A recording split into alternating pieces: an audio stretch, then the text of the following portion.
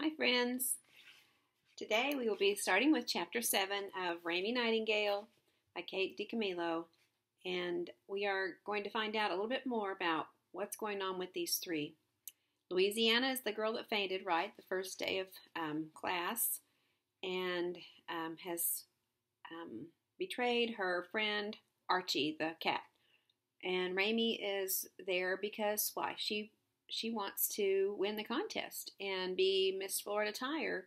And if that happens, then she can go and uh, possibly get her dad to come home because he's left the family. And then we have Beverly Tapinski, whose dad is a cop. And so these girls are going to uh, grow together even more as the chapters go along. Chapter 7.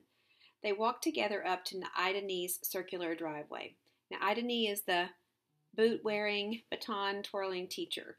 Ida Nee was still down on the dock, marching back and forth and twirling her baton and talking to herself.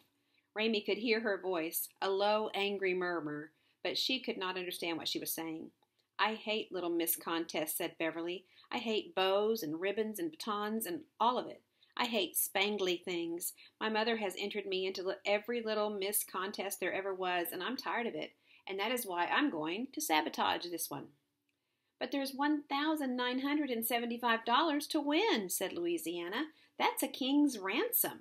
That's an untold fortune. Do you know how much tuna fish you can buy for $1,975?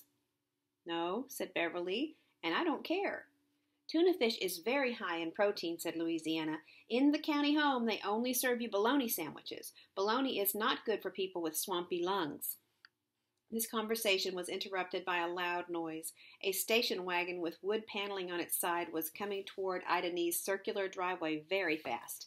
The driver's side back door of the station wagon was partially unhinged. It was swinging open and then slamming shut again. Here is Granny, said Louisiana. Where? said Raymie, because it truly did not appear that anybody was driving the car. It was like the headless horseman, only with a station wagon instead of a horse.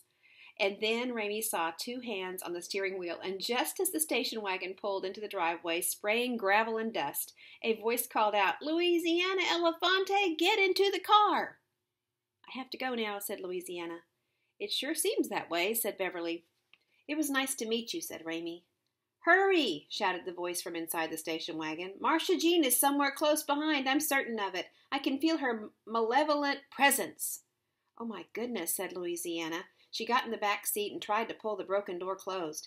If Marcia Jean shows up, she shouted at Raymie and Beverly, tell her you haven't seen me. Don't allow her to write anything down on her clipboard, and tell her that you don't even know where my whereabouts. You don't know my whereabouts. We don't know your whereabouts, said Beverly. Who is Marcia Jean? asked Raymie. Quit asking her questions, said Beverly. It just gives her an excuse to make up a story. The station wagon shot forward.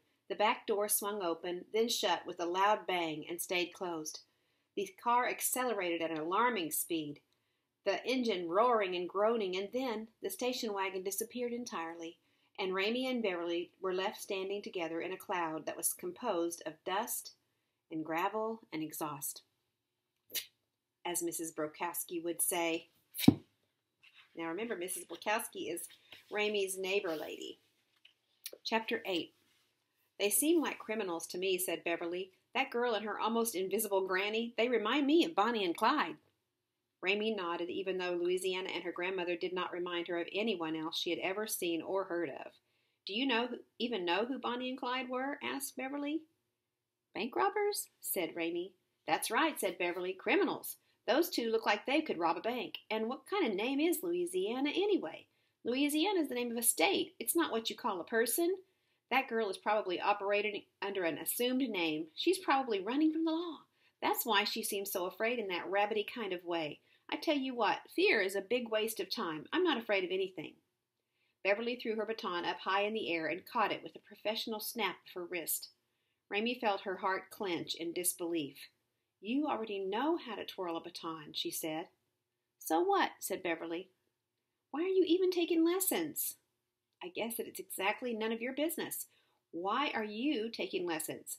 Because I need to win the contest. I told you, said Beverly, there's not going to be a contest. Not if I can help it. I've got all kinds of sabotaging skills. Right now, I'm reading a book on safe cracking that was written by a criminal named J. Frederick Murphy. Ever heard of him? Raymie shook her head. Didn't think so, said Beverly. My dad gave me the book. He knows all the criminal ways. I'm teaching myself how to crack a safe. Isn't your father a cop? asked Raymie. Yeah, said Beverly. He is. What's your point? I can already pick a lock. Have you ever picked a lock? No, said Raymie. Didn't think so, said Beverly again. She threw the baton up in the air and caught it in her grubby hand. She made twirling a baton look easy and impossible at the same time. It was terrible to behold. Suddenly, everything seemed pointless. Raymie's plan to bring her father home wasn't much of a plan at all. What was she doing? She didn't know. She was alone, lost, cast adrift. I'm sorry I betrayed you. Sabotage. Aren't you afraid that you'll get caught? said Raymie to Beverly. I told you already, said Beverly. I'm not afraid of anything. Nothing? asked Raymie. Nothing, said Beverly. She stared at Raymie so hard that her face changed. Her eyes glowed. Tell me a secret, whispered Beverly. What? said Raymie. Beverly looked away from Raymie. She shrugged. She threw the baton up and caught it and then threw it back in the air again. And while the baton was suspended between the sky and the gravel, Beverly t- said, I told you to tell me a secret. Beverly caught the baton. She looked at Raymie. And who knows why, Raymie told her. She said, My father ran away with a dental hygienist. He left in the middle of the night.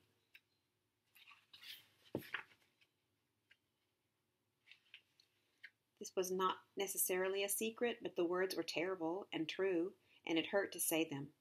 People are doing that pathetic kind of thing all the time, said Beverly, creeping down hallways in the dark with their shoes in their hand, leaving without telling anyone goodbye. Raymie didn't know if her father had crept down the hallway with his shoes in his hand, but he had certainly left without telling her goodbye. Considering this fact, she felt a pang of something. What was it? Outrage? Disbelief? Sorrow? It makes me really, really mad, said Beverly. She took her baton and started beating the rubber tip of it into the gravel of the driveway. Small rocks leaped up in the air, desperate to escape Beverly's wrath. Wham! Wham! Wham! Beverly beat the gravel, and Raymie looked on in admiration and fear. She had never seen anyone so angry. There was a lot of dust. A car painted a brilliant, glittering blue appeared on the horizon and pulled into the driveway and coasted to a stop. Beverly ignored the car. She kept beating the gravel.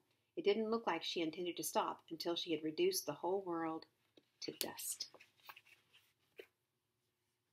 We'll read some more tomorrow.